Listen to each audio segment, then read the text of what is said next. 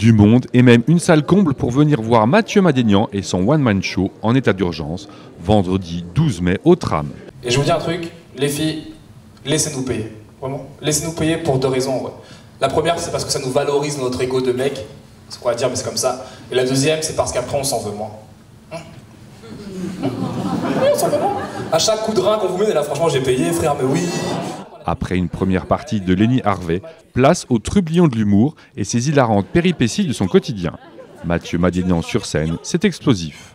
J'aime bien votre région, tout ce qui est tueur en série, tout ça. Et euh... Putain, je veux pas dormir ici, je vous jure. Je suis rentré à Paris, j'ai pas envie de me réveiller demain matin avec, euh, comme lui, tu sais, un truc qui t'attend comme ça. Mais il est d'ici, Francis, il vit ici, le mec. Réécriture de son spectacle en lien avec l'actualité locale et liberté de ton de l'artiste. L'actualité euh, en général et l'actualité euh, de manière beaucoup plus précise. Là, c'est les élections.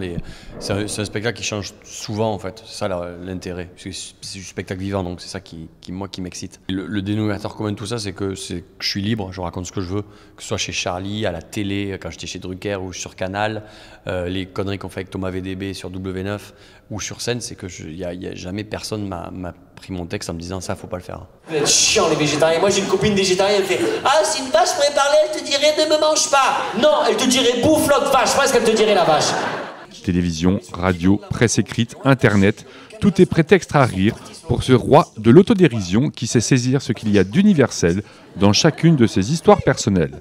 Un one-man show grinçant et plein de tendresse qui a conquis le public présent.